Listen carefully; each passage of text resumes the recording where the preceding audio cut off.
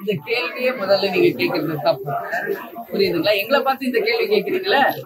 ஜெயிச்சிருக்காங்களா? அவங்கள போய் பார்த்து நீங்க இந்த கேள்வி கேட்கணும். புரியுதுங்களா? ரெண்டாயிரத்தி இருபத்தி நாலுல அது இன்னும் ஒரு வருஷம் இருக்குது. டைம் இருக்குது. இல்ல இல்ல அது எப்பவே நம்ம ரொம்ப வழி சொல்றது. அதனால நிச்சயமாக ஒரு ஆறு மாசத்துக்கு முன்னாடியே உங்களுக்கு தெளிவாக நாங்க எங்க முடிவு என்னன்றது தலைவர் சட்டமெல்லாம் சட்டம் அவர் மட்டும் அல்ல கண் கூட நீ- உங்களுக்கே தெரியுதா இல்லையா? இல்லையா? இன்னைக்கு வந்து திமுக காரங்க ஒருத்தருக்கு ஒருத்தர் அடிச்சுக்கிறாங்க. அதுவும் எங்க போலீஸ் ஸ்டேஷன்ல வச்சு அடிச்சுக்கிறாங்க. கொலை கொள்ளை நடக்குது. ஏடிஎம் கொள்ளை நடக்குது. பாலியல் வன்கொடுமை. இது காரணம் என்ன தெரியுங்களா? தெருவுக்கு நாலு டாஸ்மாகும் போதை பொருள் அதிகமாயிருச்சு. ஸ்கூல் லெவல்ல இருந்து காலேஜ்ல பெண்கள் எல்லாம் போதைக்கு அடிமையானதுனாலதான் இவ்வளவு சொட்ட உங்களுக்கு சீரழிவு. அதனால இன்னைக்கு நம்ம வந்து கலாச்சாரமான ஒரு நாடு இந்தியா. அதுவே ஒரு கேள்விக்குறியா மாறிட்டு இருக்குது. அது மட்டும் இல்லை நீ பாத்தீங்களா திருவண்ணாமலையில தொடரா வந்து ஏடிஎம் லைனா கொள்ள அடிக்கிறாங்க செயின் அடுக்கிறாங்க. நிறைய விஷயம் நடந்துட்டு இருக்குது இதெல்லாம் வந்து ஆட்சியாளர்கள் இரும்பு கரம் கொண்டு இந்த சட்டம் போட்டு சரி செய்து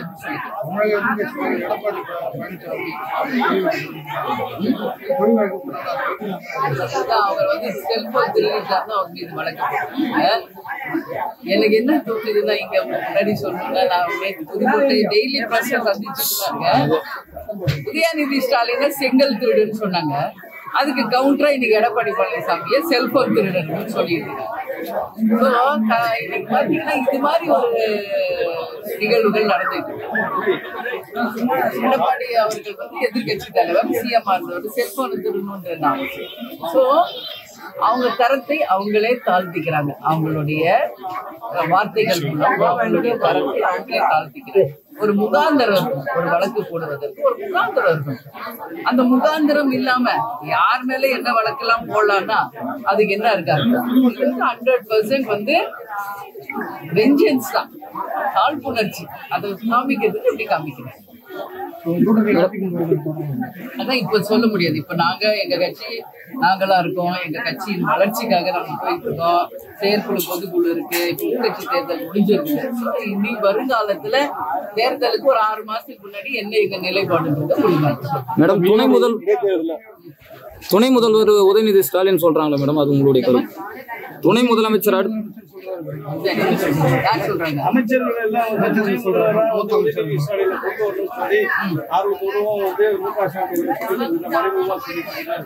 சரி அதை அவங்க கிட்ட தான் கேட்கணும். யார் அவங்க கேட்கணும் அதை பத்தி கருத்து சொல்லணும்ன்ற அவசியம் கிடையாது. ஏன் இதை சொல்றேன்னா ஸ்டாலின் அவர்கள் முன்னாடி என்ன சொன்னாரு எங்க குடும்பத்துல யாருமே அரசியலுக்கு வரமாட்டேன்னு சொன்னாரு அவர் தான் அப்புறம் வந்தாரு எம்எல்ஏ ஆனாரு. இப்ப எம்எல்ஏ வந்து மந்திரி ஆயிருக்காரு. இப்ப அடுத்து துணை முதல்வர் சோ இது அவங்க கட்சி முடிவெடுக்கிறது அதை பத்தி கருத்து நம்ம சொல்றதுக்கு ஒண்ணும் கிடையாது. மக்கள் முடிவு பண்ணணும். மேடம் உள்ள- ரொம்ப உள்ளாட்சி தேர்தல் இடைத்தேர்தலில் வாக்கு சதவீதம் ரொம்ப கம்மியா இருக்குங்களா மேடம். அடுத்த நிலைப்பாடு? இந்த கேள்வியே முதல்ல நீங்க கேக்குறது தப்பு. புரியுதுங்களா? எங்களை பார்த்து இந்த கேள்வி கேக்குறீங்களா? ஜெயிச்சிருக்காங்களா? அவங்கள போய் பார்த்து நீங்க இந்த கேள்வி கேட்கணும். புரியுதுங்களா? ஓட்டுக்கு மொத்தமா காசு கொடுத்து மக்களை பட்டறையில அடைச்சு ஜெயிச்சது ஒரு வெற்றியா? அப்படி பெற்ற வெற்றி அது வெற்றிக்கு சீமான் சமமா? அதை சொல்லிட்டு இருக்காரு மேடம். நாங்க இப்போ வந்திருக்கோம் நாங்க திமுக நாங்க வாக்கு சதவீதம் அதிகமா இருக்கோம் வெற்றி. தோல்வி சகஜம். இந்த ஒரு வாட்டி வாக்கு சதவீதம் அதிகரிச்சுட்டு அந்த நிலையும் கிடையாது. கேப்டன் எதிர்க்கட்சி தலைவரா கட்சி ஆரம்பிச்சு குறுகிய காலத்தில் எதிர்க்கட்சி ஆனவர் கேப்டன் கலைஞர் சந்திக்காத வெற்றியும் இல்லை கலைஞர் சந்திக்காத தோல்வியும் இல்லை. ஜெயலலிதா அவர்கள் சந்திக்காத வெற்றியும் இல்லை தோல்வியும் கிடையாது அதனால இதெல்லாம் வந்து அரசியலில் வெற்றி தோல்வி சகஜம். பொறுத்திருங்கள் அடுத்த தேர்தலில் தேமுதிக நிச்சயம் பலத்தை நிச்சயம் அதிமுக திமுக அடுத்தது நாம் தமிழர் கட்சி தான்? அப்படியெல்லாம் ஒண்ணும் கிடையாதுங்க. இந்த மாற்றம் ஒன்றுதான் எல்லாத்துக்குமே தீர்வு. அப்படி பார்த்தா குறுகிய காலத்திலே ரெண்டாயிரத்தி அஞ்சுல கட்சி ஆரம்பிச்சு பதினொன்னுல எதிர்கட்சி கேப்டன் வரலீங்களா